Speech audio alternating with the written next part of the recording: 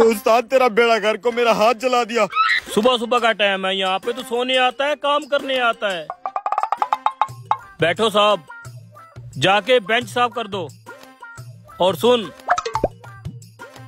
ये गाहक काफ़ी पढ़े लिखे और सुलझे हुए लग रहे हैं। चाय के साथ बिस्कुट या केक मांगे तो साथ वाली दुकान से ला के दे देना। तब तक मैं चाय बनाता हूँ। ठीक है।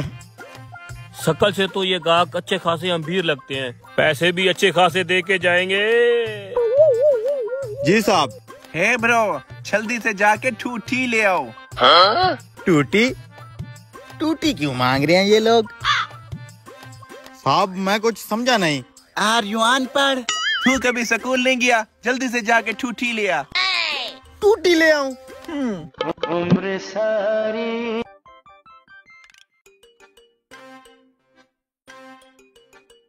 पता नहीं ये लड़का क्या लेने चला गया।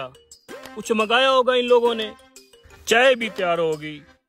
चाय गुड़ वाली चाय आए हाय आए हाय। सुबह सुबह ये कैसे गाहक आ गए हैं? चाय की दुकान पे आके बोलते हैं टूटी ला दो।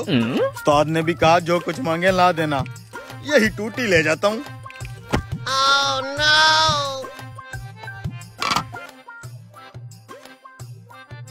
ऑक्सफोर्ड यूनिवर्सिटी में पढ़े हैं हम दोनों।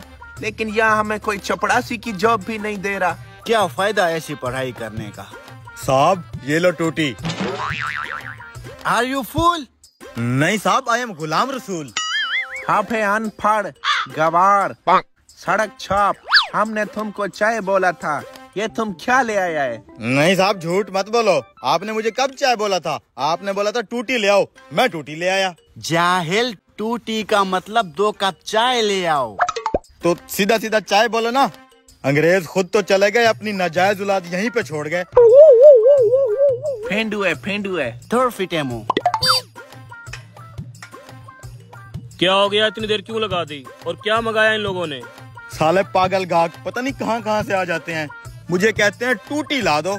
मैं भाग के गया शेख साहब की टूटी खोल के ले आया। अब जब देने गया तो कहते हैं हमने टूटी नहीं बोला। हमने तो बोला था दो कप चाय ला दो।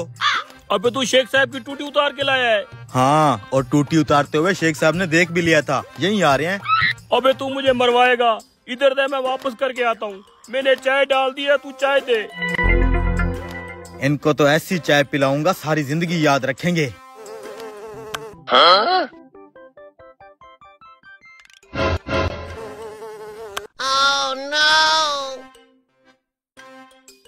साले मुझे अनपढ़ गवार और सड़क छाप बोल रहे थे। अब पियो मक्खी वाली चाय। ये लें चाय पिए साहब।